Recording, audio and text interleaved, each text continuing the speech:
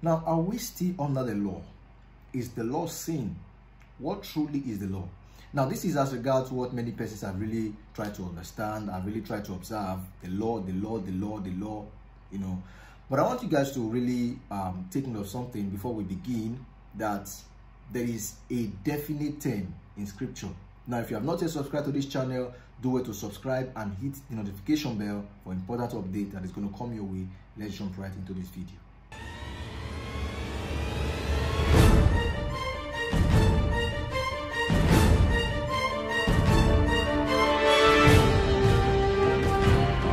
There is a definite term, all right, of scripture. If you understand articles very well, you understand there is a definite article. But before we go into that, we must understand something about the law.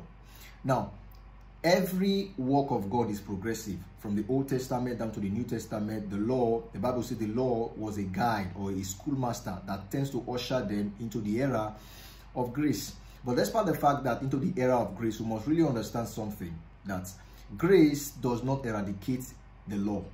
All right. Now, when the scripture made mention of the law, as um, as the Bible says, and Jesus said, He has not come to destroy the law and the prophets, but He has come to fulfill them. But let me explain something. When we make mention of the law, we must understand the law, definite term, T H E, the law. So we must understand what law are we talking about.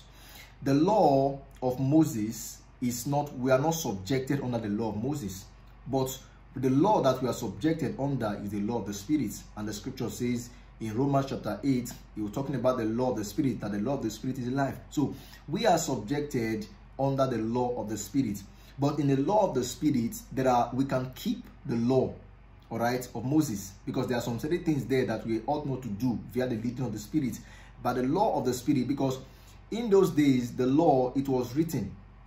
It was written on a, on like a, a scroll, all right. The law was written like it's on, on a scroll, and they were expected to follow that. And that is, was difficult because there was no propelling force all right there was no indwelling ability that can enable them to fulfill that so they were following the law carnally and that is why the bible says that the law is sold under sin okay that is why paul was stressing as regard an emphasis of the law that he made mention that the law when you follow the law this and this and this because you can't really follow the law all right with your human capacity, your human framework. And that is the reason why many persons don't really understand the functionality of the Holy Spirit because they think that, ah, since the Bible is there, let me just, just any, you say, thou shalt not kill, okay, I will not kill. And guess what? They went to, uh, for to go and kill. Since this one say, okay, I will not do it because you are flesh, all right? So you must be tempted at all points. So the law of the old, that's the law of Moses, was written in a book or in a co or, or written in a scroll and the law of the new is now imprinted in our hearts and is now being uh, effective via the functionality of the Holy Spirit. So the law of Moses, we are not subjected under that law, but we are subjected under the law of the Spirit. Now, the law of the Spirit, if you understand the law of the Spirit, it goes beyond the Ten Commandments. The law of the Spirit goes beyond the Ten Commandments because there are some basic things as you walk with the Spirit. That is why I want you guys, um, what I really want in this channel is, is as regard being students of the School of the Spirit okay? Not students of logic.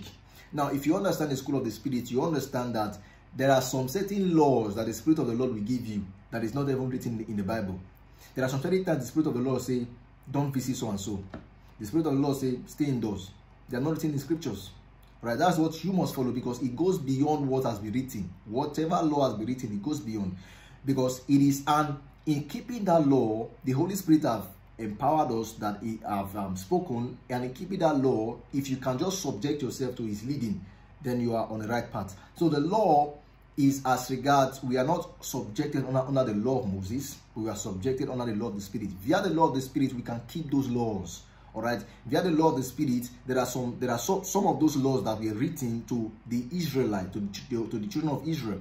I made mention that the bible was not written to us, but for us, there are some of those laws that we are not expected and permitted to keep again because those laws were just on the functionality of okay um, these people because of their hardness of their heart because of their stiff neck attitude so let's just bring so and so. Like there are some feasts there are some um, festival feast that was um, that was done away with when christ came all right? There are some of those feasts there are some of those um, uh, celebration and some of those things that were done away with when Christ came. For example, like killing of lamb and so on and so forth. When christ came it's eradicated.